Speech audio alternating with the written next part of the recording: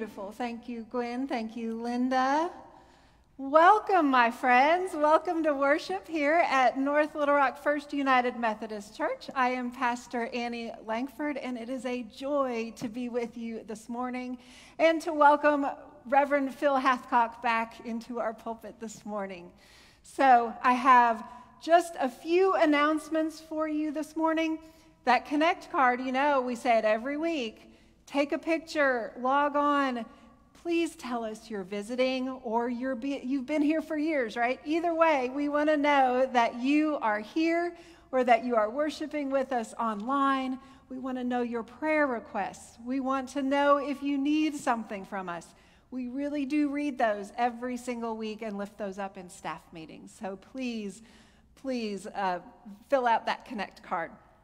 Also, um, if you'll notice at the exit, there are still some of those uh, buddy bookmarks for all of our children, prayer buddy bookmarks. I had that wording wrong.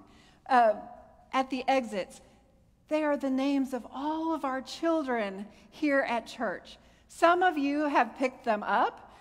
There are still more children who don't have bookmarks picked up. So, it, whether you've picked one up or you haven't, pick up another one, pick up three or four of them. And remember those children in your prayers as they are in a new school year. We want to make sure that every one of our children is lifted up in prayer this year. So grab, grab a couple of those on your way out. Um, also, we have um, a new ministry starting. Um, it's not really new, it's just a new group Grief Share. So if you have lost a loved one, whether it was years ago or it was yesterday, we welcome you into this support group, this learning group, this loving group. We will start September 7th at 10 a.m. Donna Drury will be leading us for this 13 weeks, and we welcome anyone who needs to come, come and go, come and stay for the whole time. Check it out. Um, but I would really encourage you uh, to join us for that. And then the fall food drive, we are smack dab in the middle of this, collecting food for our backpack ministry. Gwen and her team does such a great job. Drop off your food. Um, in the, there's a table out there for you to drop your food off. There's a flyer in your bulletin that tells you all the food that we need. Um, so when you go to the grocery store, take that with you.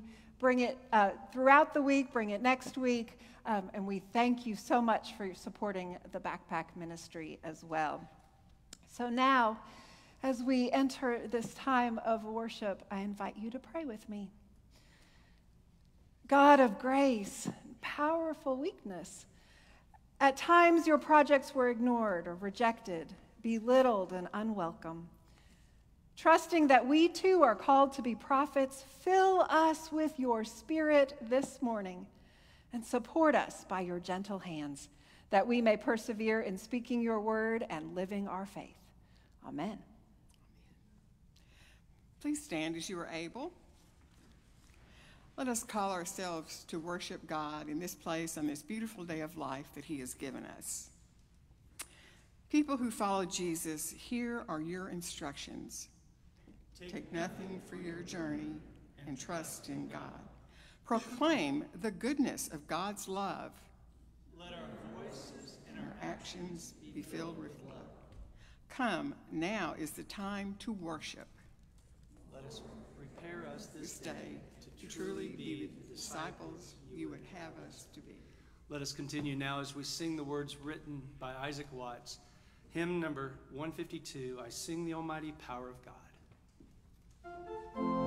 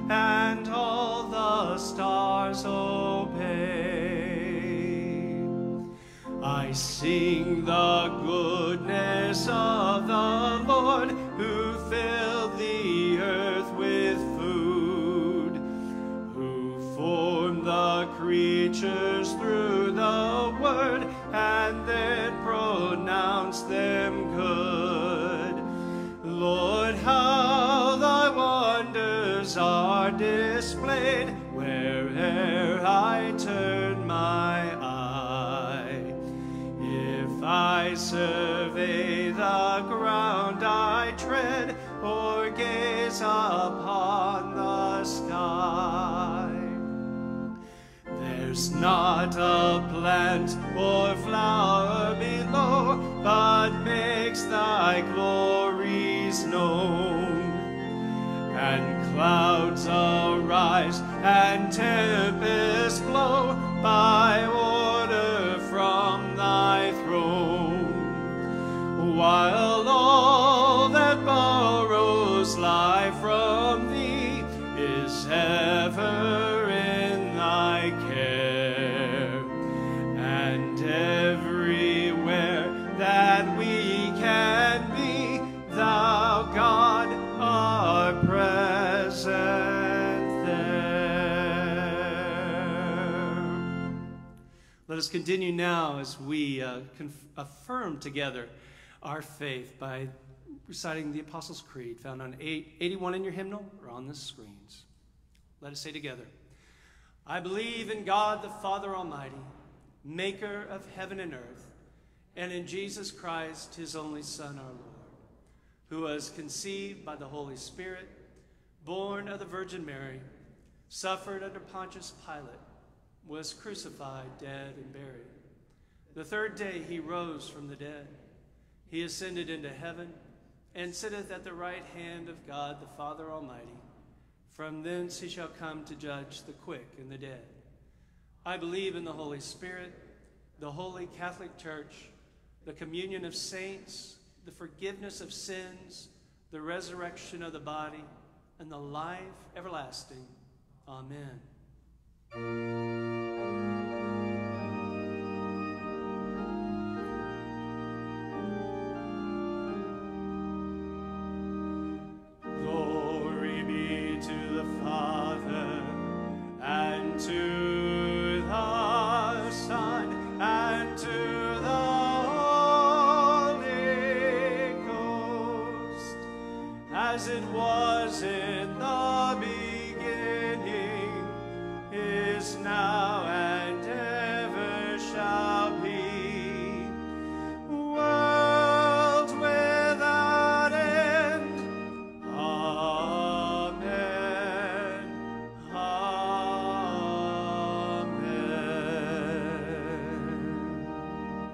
Please be seated. Good morning, everyone. Today is a super special day, like I say every time I get up here, but today is special because it is my husband's birthday. And in that note, because he's not here at this service, I could say whatever I want to about him because he already went home because he came to first service. But what I'm really going to tell you is how we first met. My husband's very first remembrance of me as a human being in the world was at the Little Rock International Airport in 1999 when we were both about to embark on a semester abroad in London, England. And at that time, our flight was fully booked, and I learned I was not going to be allowed to take my extra carry on onto the plane with me. Well, Long story short, I am a huge overpacker. I do not like to be underprepared. And so I had everything from the clothes I might need to the kitchen sink shoved into all of the luggage that I thought I was going to be bringing on this four month long trip.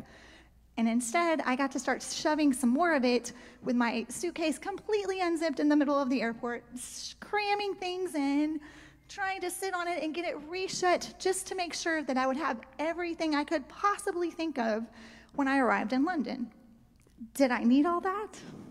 Probably not. And at first service, Scott said, that was a red flag from the seat in the, in the pew. But, you know, things went on, and, and here we are 20 years later. We have two children.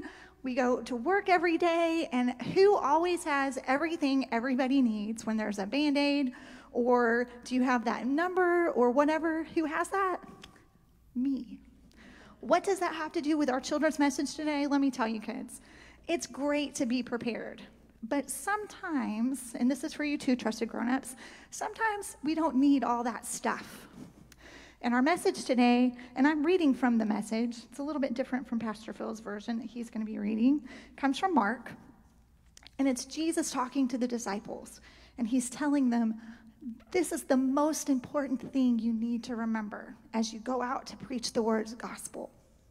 He said, Don't think you need a lot of extra equipment for this. You, you are the equipment. No special appeals for funds. Keep it simple. And no luxury inns. Get a modest place and be content there until you leave. If you're not welcomed, not listened to, quietly withdraw. Don't make a scene, shoulders, and be on the way. Then they hmm, That last line was then they were out on the road. That life can be different. Right and left, they sent the demons packing. They brought wellness to the sick, anointing their bodies and healing their spirits. This last said, Preach that life can be radically different. If you remember nothing else from what I said this morning, I want you as Christians, whether you're a kid or a grown up or somewhere, someone in the, someone somewhere in between, go out this week and make life radically different with God's love for someone. Thanks.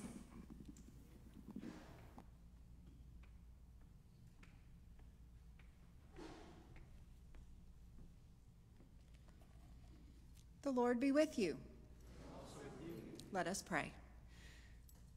Good and gracious God, in these changing times, in our brokenness, division, violence, prejudice, bring us once again to your side, calling and sending us in your name. Give us the courage to travel light, to downsize, and to embrace the freedom that it brings.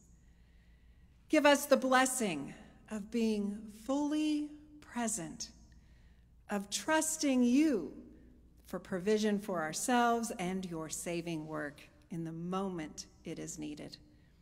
Give us the wisdom to know our role, to move on from failure and rejection, to move on from accomplishment and welcome. The authority you give us does not dictate response, nor is our faithfulness measured by the response. Our job is to go, to walk and to offer, to proclaim your deliverance and offer healing for body and soul, to proclaim your welcome and offer blessing no matter the location, to proclaim your repentance and offer your salvation and hope. We bow humbly before the honor of you for choosing us. We rise and we walk with you Grant us the authority and the grace and the strength we need. Send us forth to do your bidding. As your Son has taught us, we are bold to pray. Our Father, who art in heaven, hallowed be thy name. Thy kingdom come, thy will be done, on earth as it is in heaven. Give us today our daily bread, and forgive us our trespasses as we forgive those who trespass against us. And lead us not into temptation, but deliver us from evil. For thine is the kingdom, and the power, and the glory forever. Amen. Let us continue now singing a hymn that may be a bit unfamiliar. It's relatively new in the hymnal. It is hymn number 263, When Jesus the Healer.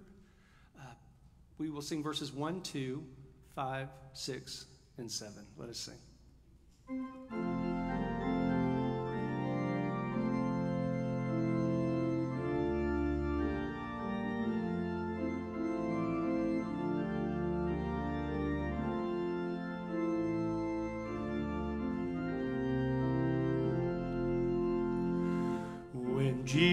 The healer passed through Galilee. Heal us, heal us today. The deaf came to hear and the blind came to see. Heal us, Lord Jesus.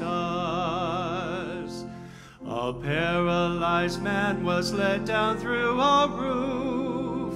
Heal us, heal us today. His sins were forgiven, his walking the proof. Heal us, Lord Jesus. The lepers were healed and the demons cast out. Heal us, heal us today. A bent woman straightened to laugh and to shout. Heal us, Lord Jesus. The twelve were commissioned and sent out in twos. Heal us, heal us today, to make the sick whole and to spread the good news. Heal us, Lord Jesus. There's still so much sickness and suffering today. Heal us, heal us today. We gather together for healing and pray.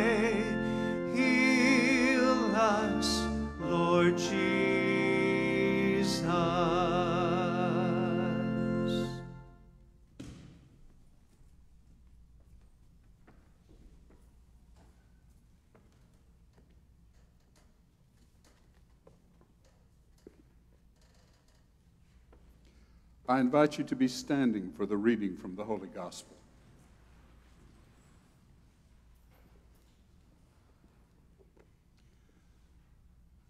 For Mark's telling of the good news.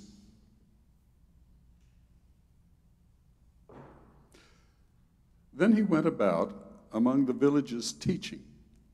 He called the twelve and began to send them out two by two, and gave them authority over the unclean spirits.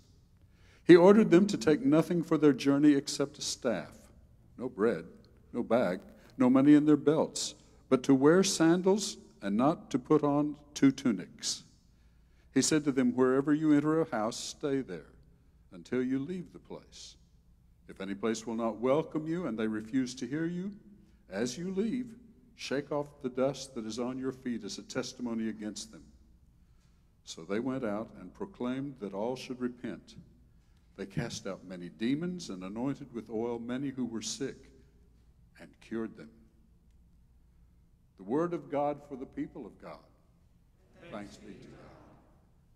Be seated.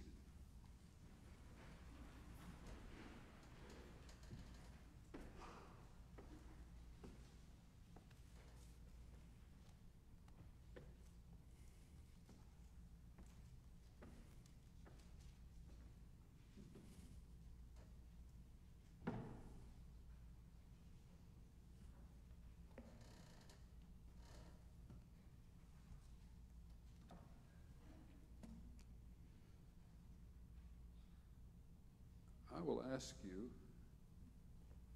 as I always do, to pray with me. First, that, that I would faithfully speak, but also that you would faithfully and expectantly and receptively listen. And finally, that the Spirit of God might be in this place and move through this place and in us and around us to make of my words God's word. Let us pray.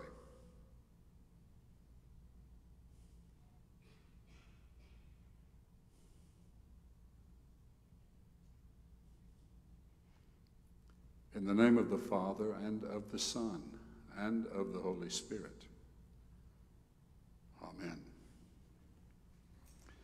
Now, I will tell you that I am careful in pulpits like this.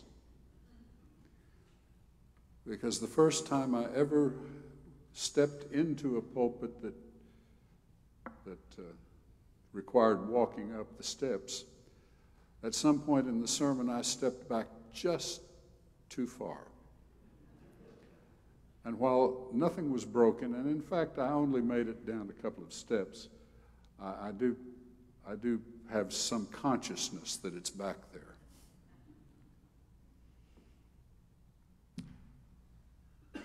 The joke in my family is that I like different movies than my wife does. Uh, I like happy endings. I like romantic endings. If I want angst and violence and, and conflict, I'll come to church. So, the sort of movie I like is movies like City Slickers.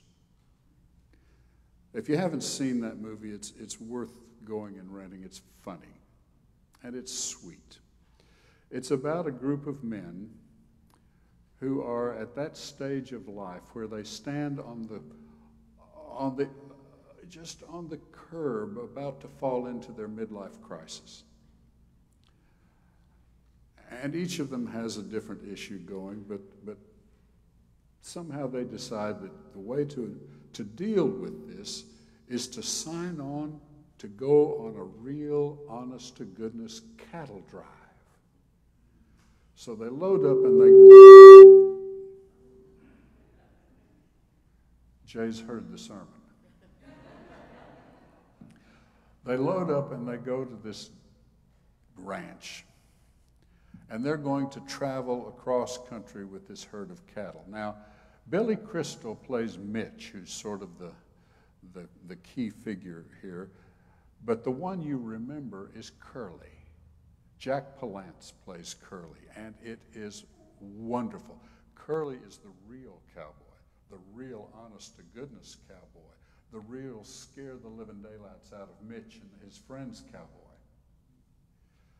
And sort of the defining moment of the movie, the movie, the moment in the movie that most everyone remembers, is when Mitch and Curly are, are out together, just the two of them riding with the herd.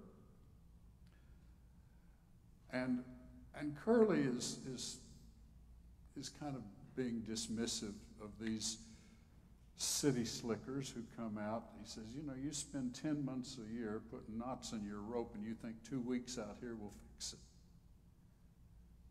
And he says, You know what the meaning of life is? And Mitch says, No, what? Curly goes, and Mitch says, Your finger? Curly says, No, one thing. Just one thing. You stick to that, and everything else doesn't mean anything.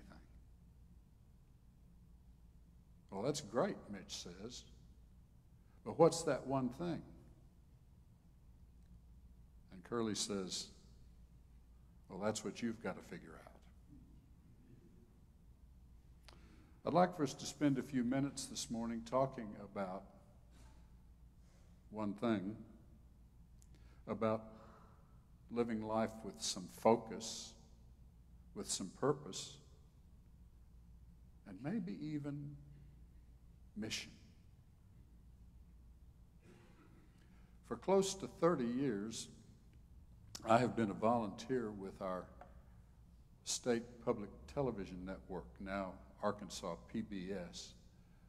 Uh, I'm one of those people that interrupts your favorite program to invite you to make a pledge.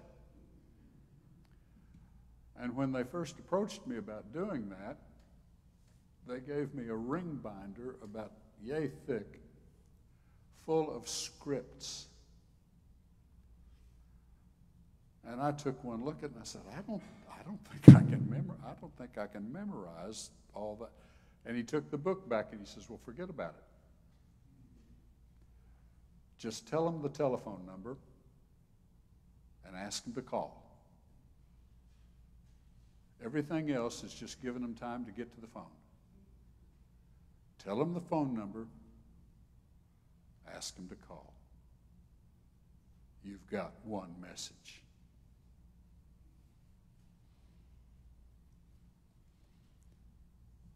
Jesus said some things that I wish he hadn't. Uh, and the passage we read this morning is one of them. It's that passage where he tells them to take nothing with them on their journey except a walking stick. No bread, no bag, no money, not even an extra cha- not even a change of clothes. Now that's traveling light. And I wish he hadn't said that because as it was with Megan, that hits a little close to home for me. I always pack too much. I went to the beach a while back. I had enough clothes for a month, but we were just staying a week. I had enough sunscreen for the summer. And if I overpacked that much for that trip for a week, imagine what it was like a few years ago when I was going to Puerto Rico to serve a church there for two months. And I didn't know what would be expected. Would I need clothes for the beach? Would I need dress clothes?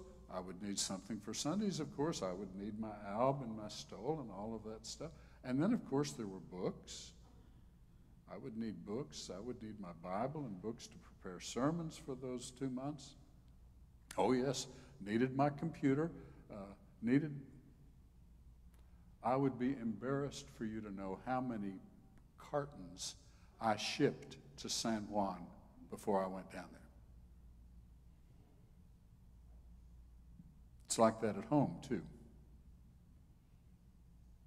On the shelves in my house are books I'm not going to read again. In my closet are clothes that have shrunk. I'm kind of wishing I hadn't mentioned that. They made fun of me at the first service, too.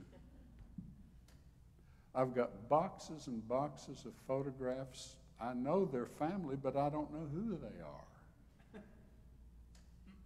Clutter. Clutter. But I'm a real good person to travel with because whatever you forgot or whatever you ran out of, I've got it. In my car are four umbrellas, three flashlights, two fire extinguishers. You can go look. My son in law is at the other extreme. He's a remarkable young man. If you ask to see his billfold, he pulls out one credit card, his driver's license, and a little cash. His billfold is a paperclip. Mine, oh, let's see, driver's license, a couple of credit cards, uh, all my insurance cards, uh, a list of the medicine, medications that my wife takes, a list of the medications that I take. Uh, there are a couple of stamps in there in case I want to send a letter.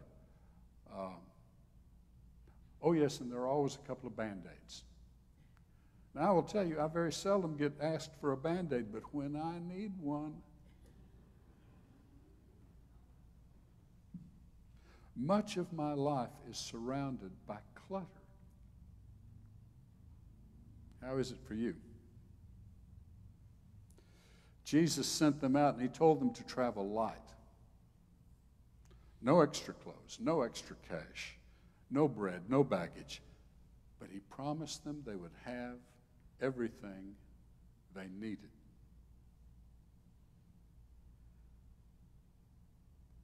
Now, when I read the Bible and when you read the Bible, I think one of the appropriate ways to approach it is to say, where do I find myself in this story? Where do I find my story in God's story? Well, some days I'm the one who runs to Jesus and says, I'm going to go with you. I will follow you anywhere. First, let me tend to my father's funeral. You remember Jesus' reply? Leave the dead to bury the dead. Whoa. That's cold. Jesus, I, I just don't know about that. Or I ask Jesus what I need to do. I said, Jesus, I've, I've, I've, I've been a good I've been a good disciple. I think I've kept all the commandments, but I feel like there must be something. And Jesus says, Tell you what you do. All that stuff you've got, sell it. Sell it all. All of it, all of it. Sell it all. Give the proceeds to the poor. And then come follow me. Jesus, I'm not sure I can do that. Now, sometimes this is just a lesson that we didn't learn as little children. It's the lesson of the difference between wanting and needing. Church I served a few years ago used to send a lot of young people to Ozark Mission Project every summer. They'd go out to some remote part of the state and they would they would build wheelchair ramps for people who, who needed them, or they would uh, they would replace window screens or, or or window glass sometimes, or they would paint houses, and they would they, they were doing this for the people they called their neighbors, and they would they would spend time with these people, and they would they would get to know these people, and these are people who were living on the edge. And these kids would then come home after spending a week in one of the poorest parts of the state.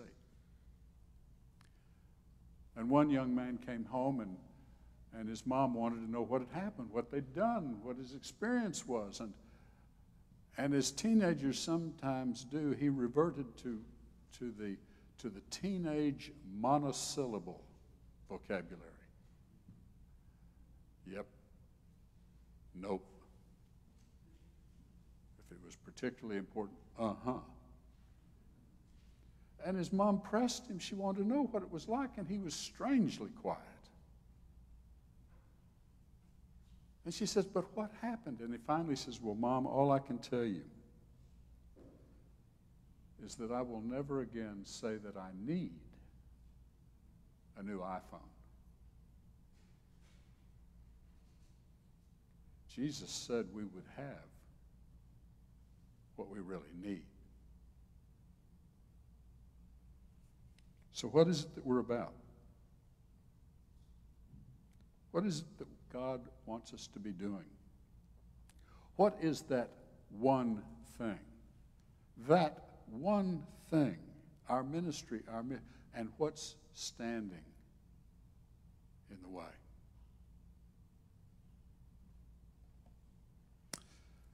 Anthony DeMello uh, was a Jesuit priest who collected stories and parables from, from all manner of, of faith traditions. And uh, one of his collections is this little book, The Song of the Bird. And there's a story in it I think I'd like for you to hear.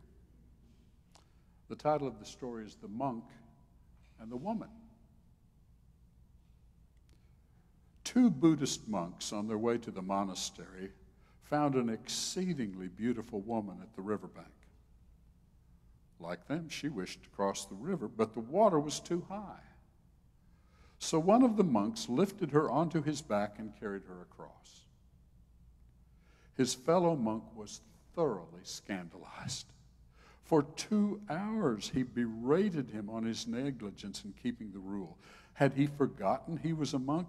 How dare he touch a woman? And worse, carry her across the river. What would people say? Had he not brought their holy religion into disrepute? And so on. The offending monk patiently listened to the never ending sermon. Finally, he broke in Brother, I dropped that woman at the river.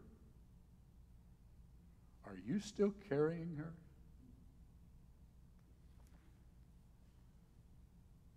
What is it that we should have left at the river?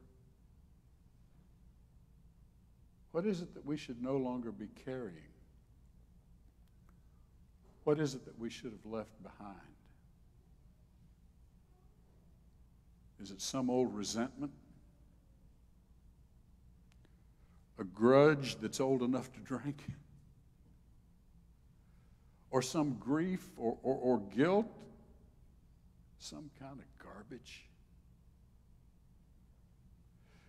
Is it some lesser loyalty? Something we give our best to that is not worth and worthy? Some prejudice, one of our isms, ageism, racism, sexism, maybe even Methodism. For some of us, it's anger. And for some of us, it's ambition.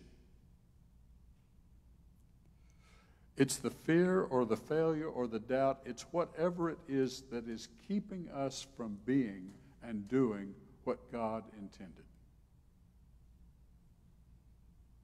What's the clutter? What is it you should have left back at the edge of the river? Jesus told them to take nothing with them, only a walking stick, no bag, no baggage, no money, not even a change of clothes. The call to follow Jesus is a call to traveling light. Let us pray. May these words of my mouth and may the meditations that you find in our hearts be acceptable in your sight, Lord, our strength and our salvation. Amen. Amen. We are one body with many members. We all bring different gifts together. All of our gifts help us to proclaim Christ to our community and to the world. During this time of refle- excuse me, reflection, you are invited to prepare your offering. You may give online or leave your offering in one of the wooden cross boxes at the exits of the worship space as you leave. Thank you for your generosity. Because of your gifts, we're able to provide sweet Sundays for our children's ministry participants. Let us pray. Creator God, you have given us dominion over all the earth. With this covenant to care for the earth, we are called to give our time, talents, and gifts. Bless the time we give, that it may be purposeful. Bless the talents we bring, that it may have meaning. Bless the gifts we bear so that they are given in pure love. Thanks be to you, our Creator. Amen.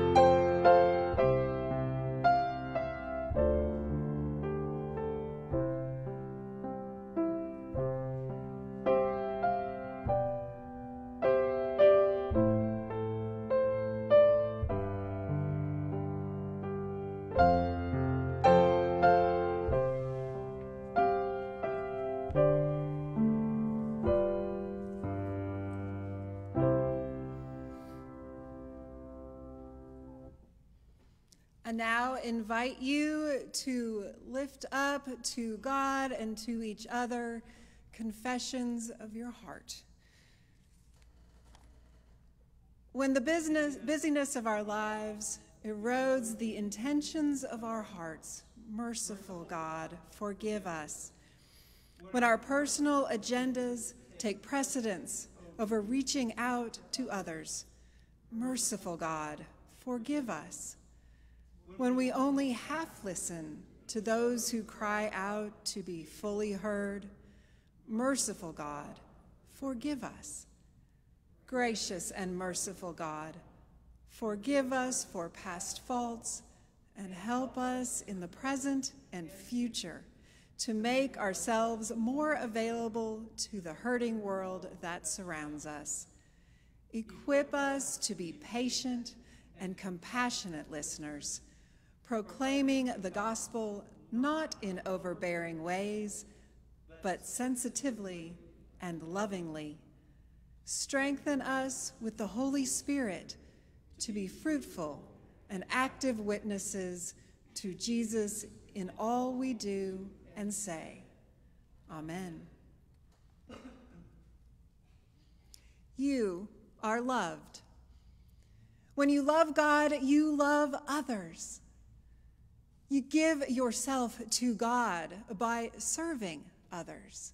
Know that in God's love there is forgiveness, healing, and reconciliation. Thanks be to God. Amen. We all stand as you are able and join me in singing our closing hymn this morning, number 381 Savior, like a shepherd, lead us.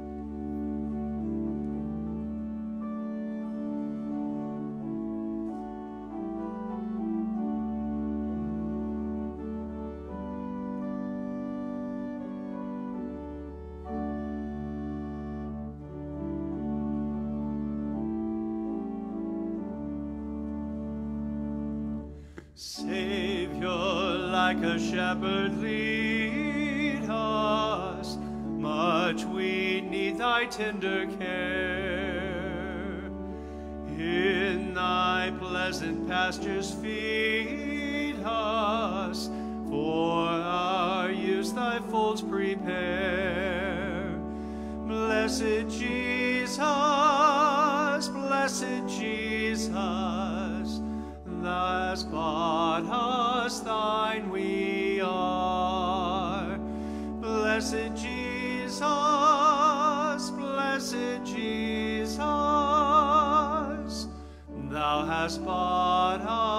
Thine we are. We are thine, thou dost befriend us, be the guardian of our way. Keep thy flock from sin, defend us, seek us when we go astray. Blessed Jesus, blessed Jesus, let us hear us when we pray. Blessed Jesus, blessed Jesus, hear, oh, hear us when we pray. Thou hast promised to receive us, poor and sinful though we be. Thou hast mercy to relieve us, grace to cleanse and power to free. Blessed Jesus, blessed Jesus, we will early turn to thee. Blessed Jesus, blessed Jesus, we will early turn to thee. Early let us seek thy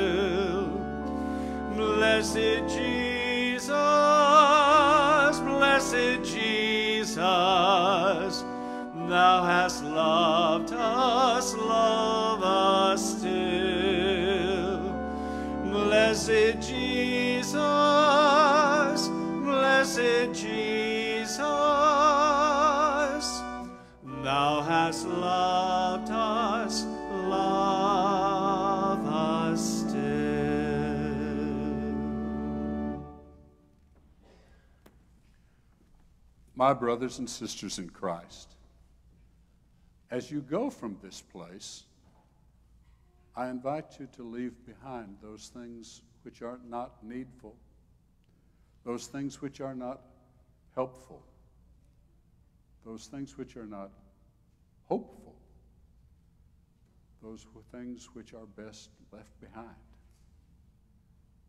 God will give you all you truly need. Go in the name of the Father, and of the Son, and of the Holy Spirit. Amen.